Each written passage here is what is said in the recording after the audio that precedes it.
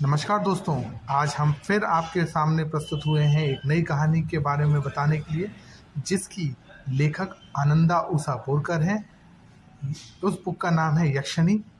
यक्षिणी एक ऐसी देवी के ऊपर आधारित है, जो पृथ्वी लोक पर आने के बाद एक श्राप की वजह से डायन बन जाती हैं और वो अपने आप को बचा के रखने के लिए लोगों का खून करके उनका खून पीती हैं। कैसे वो एक डायन बनी इसकी कहानी जानने के लिए आपको ये कहानी पढ़